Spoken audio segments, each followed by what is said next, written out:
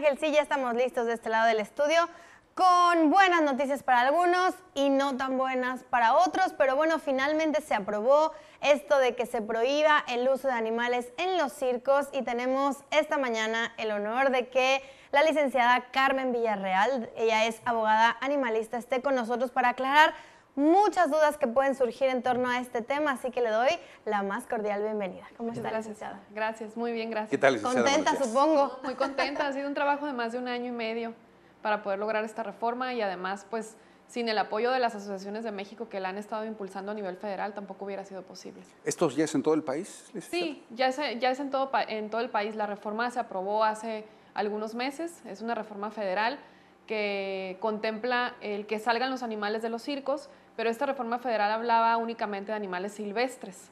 El logro extra que logramos en Baja California, como se ha logrado también en el Distrito Federal y en otras entidades federativas, es que eh, no solamente sean animales eh, silvestres los que ya no están en los circos, sino cualquier animal de cualquier especie. Sí, porque aquí lo interesante sería cómo defines, ¿no? Los silvestres de los domésticos, que sería la otra clase, ¿no? Sí, los silvestres son los que nacen en, bueno, hay silvestres que nacen en cautiverio, pero, son los que, con los que no dependen de la mano del hombre. ¿no? Y están regulados por cierto tipo de leyes, como elefantes, como tigres, como changos, jirafas, jirafas etcétera pero el objetivo de algunos de los del, gremio de los cirqueros era pues que todavía se quedaran a trabajar en algunos circos caballos, eh, perros, gatos, etcétera, y nosotros como animalistas considerábamos que el maltrato es en general, ¿no? Entonces por eso en Baja California queríamos hacer este esfuerzo de que la iniciativa contemplara cualquier animal de cualquier especie ya no va a estar trabajando en circos, entonces por lo menos Baja California junto con otras entidades ya están libres totalmente de circos,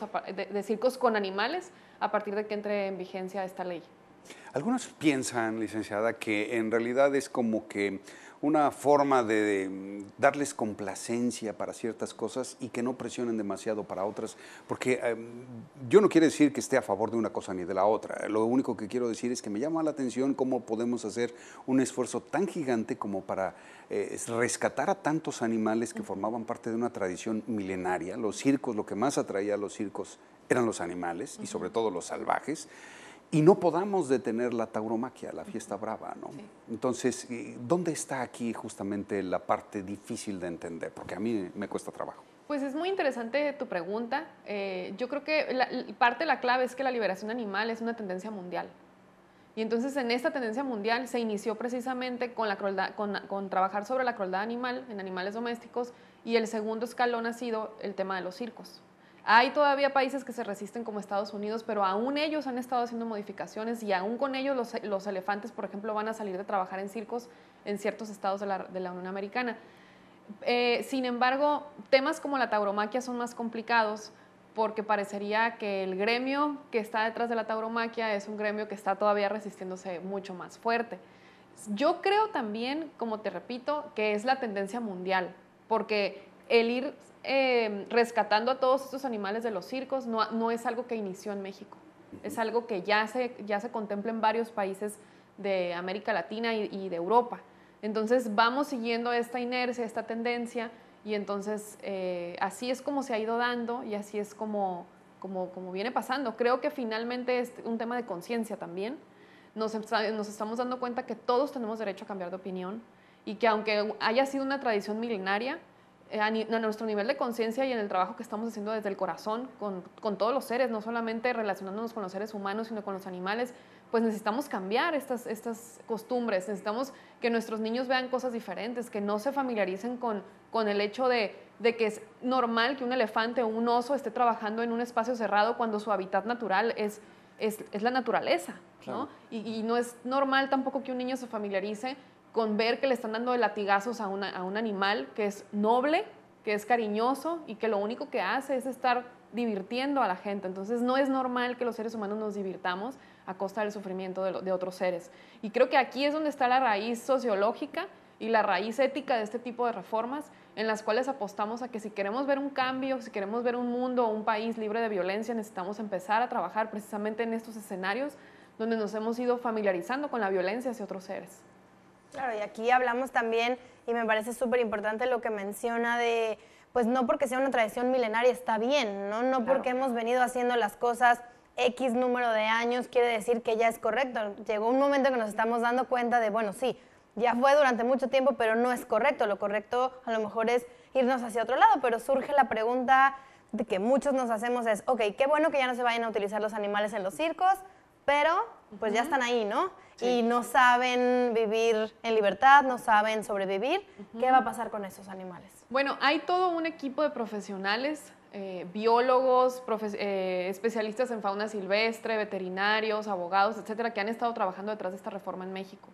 Ya se está gestionando un santuario en Chiapas, es ya una realidad, se dio el anuncio en, la, en la prensa hace dos semanas y este santuario va a albergar a parte de estos animales. Hay que entender que estos animales, la mayoría, nacen en cautiverio y que no podemos ir a dejarlos a su hábitat natural porque no van a saber sobrevivir y para eso se están contemplando unidades de rehabilitación como la que ya existen en Pachuca, donde se hacen cuarentenas, se meten a estos animales en espacios con determinado número de metros, un poquito más grandes que las jaulas donde, está, donde habían estado siempre, y durante 40 días, 60 días están acostumbrados a ese espacio, luego se pasan a otro espacio más grande y se van trabajando por cuarentena su rehabilitación para que después ellos puedan transitar hacia un santuario, hacia un lugar parecido a, su hábitat natural donde puedan convivir con otros animales que están en sus mismas condiciones, donde puedan hacer manadas, donde puedan otra vez estar lejos del ser humano, donde no sientan que el ser humano tiene que estar encima de ellos, pero sí están cuidados. Y uno de estos santuarios está en Colorado y es el, Wild Animal Sanctuary,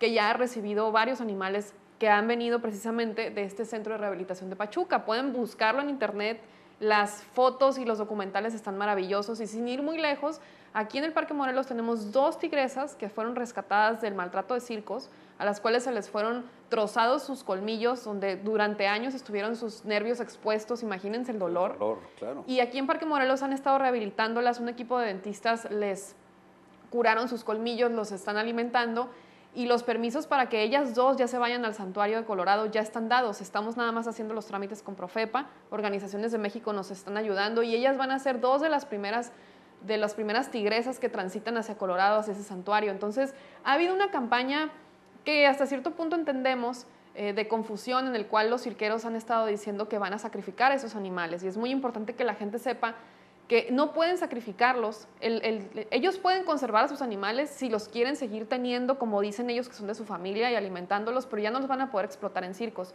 Si ya no es costeable para ellos, ellos los pueden donar y entonces Profepa se va a encargar a través de esas unidades de rehabilitación de, eh, de aliviarlos, de rehabilitarlos y de mandarlos a los santuarios que correspondan. Bueno, por un lado ya sería un crimen penalizado ahorita si, si quisieran sacrificarlos. Sí, la multa es de más de 3 millones de pesos. No creo que les convenga. Por ejemplar por animal y más de 12 años de prisión.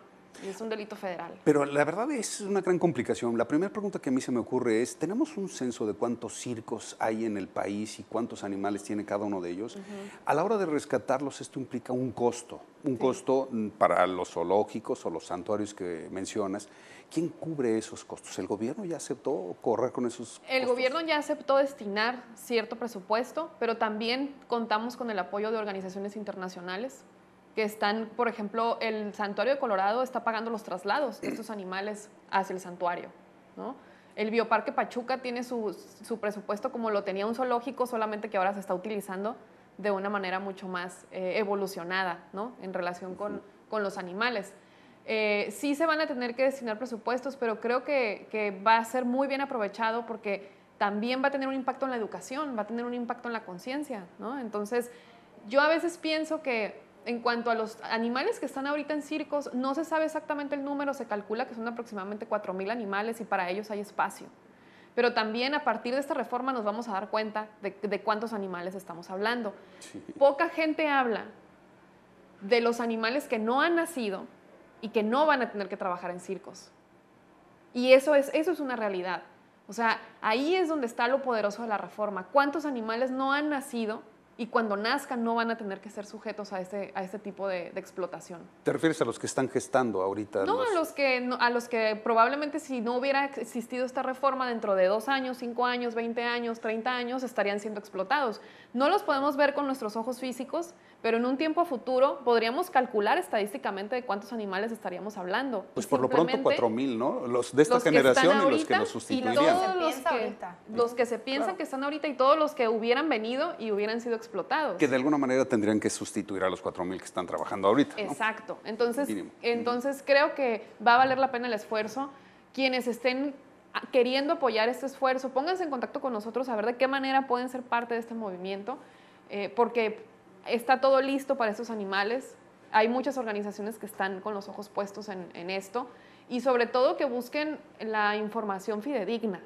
Eh, Eso, yo creo que eso es fundamental, Fundamental. y no caer en la confusión y no caer como en la corriente de que pues es que dicen esto y dicen lo otro y para qué andan haciendo reformas y a la mera hora se van a morir todos y no, aquí usted licenciado nos está diciendo que hay todo un aparato atrás es. de esta reforma y precisamente ese aparato y todas esas personas que están como backstage, ¿no? Sí. Que no que no las vemos, que no sabemos de ellas son los que se van a encargar que esos animales tengan una buena rehabilitación y sobre todo una buena reintegración a un hábitat lo más parecido a lo natural posible. Cla- Claro que sí, sí, se- si suben a nuestras páginas de internet, ahí estamos subiendo también las- los links y las páginas de los santuarios y de las unidades de rehabilitación. Desgraciadamente, ya el tiempo lo tenemos encima y me hubiera encantado preguntarte algo que podemos dejarlo para una próxima visita si nos podés complacer con ella. Eh, el programa de rescate de los animales me parece loable, ¿no?